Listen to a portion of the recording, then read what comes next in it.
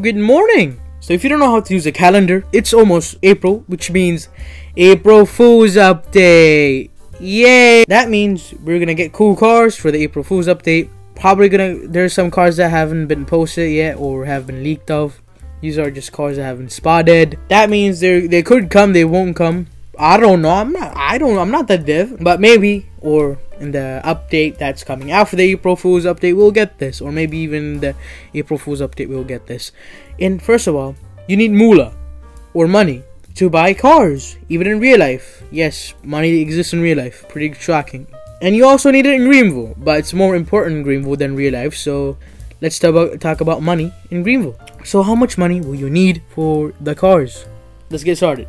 First of all, this thing, Lamborghini Gallardo, that's what the children call it, uh, but as a professional man, I like to call it the LP560, cause I'm better than you. So this thing should be anywhere from 140-ish to the, for the normal 560s and for the Superleggeras, which are the high-end ones, which are the top trims, should be around 220 grand, cause they're way faster, better looking, more horsepower, bigger engine, I don't know. Yeah, it's gonna be expensive more expensive. Like I said, anywhere from 140 to 220. And we also had a Gallardo back in the day in GV revamp when it was new. After it got removed, it was gone, but was around 100 grand too. And maybe it could be the same price, but I don't think so because we didn't have the Superleggera, but we have the Superleggera now. And yeah.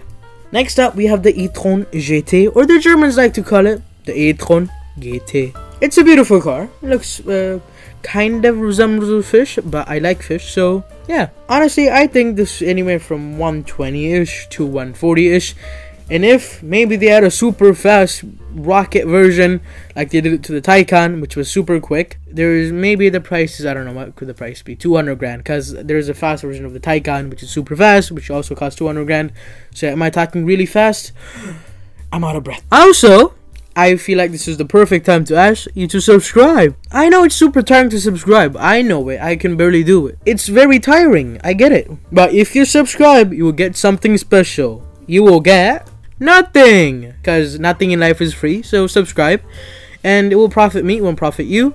Thank you very much. Let's go back to the video. Next up, we have the C7 Corvettes. For the normal C7, I think it's around 60 to 70 grand maybe for the Z06 anywhere from 80 to 90 grand. And the ZR1 of course the highest one of the highest versions. Anywhere from 120 to 140 I guess or maybe 140 to 150 maybe.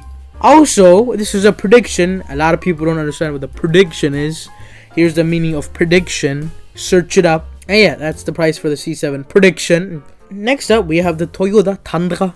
And uh, I don't know what the price is. Uh, I think when it was in the game Oh, never mind. It's not a Tundra. It's a 4Runner. Ah, stupid me. Yeah, when it was in game, the 4Runner I think cost around 50 to 60 grand for the TRDs. I think it could be the same price, but maybe not. Maybe around 40 to 50 is for the TRD or the highest trim. Maybe.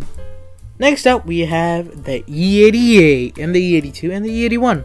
So for the normal ones, for like the base normal E88, anywhere from I guess 20 to 30 grand and for the higher versions, like the 1Ms, we're gonna have probably around 70 grand ish or 60 to 70 grand as they're pretty rare in real life. Yeah, these things are pretty rare and they could be really expensive or not. I don't know. We could go off the MSRP. I think which was 50 grand brand new. I'm not sure, but anyway, from there. And here's the price you need uh, maximum. If you have this much, you should be safe. Safe, not safe, not safe and this should be the max minimum one. And if you have this i think maybe get a little bit more so to be completely safe. Because if you have this much are you gonna be left with zero dollars? But anyways thank you so much for watching. Like and subscribe. And i will see you in the next one. Good night